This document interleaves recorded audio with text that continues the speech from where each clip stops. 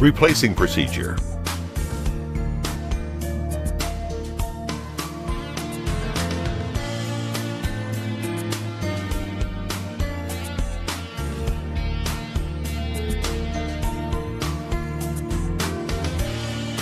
Make sure that all matching surface is clean before installing wheels.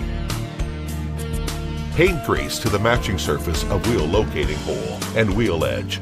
Paint grease and other anti-occlusal reagent to fastener's thread. Mount the wheels, dangling in diagonal order three times with specified torque to tighten the nut. Steel rim, 550 to 600 newton meters. After reassembling tires every time, tighten all tire nuts again after driving 50 kilometers.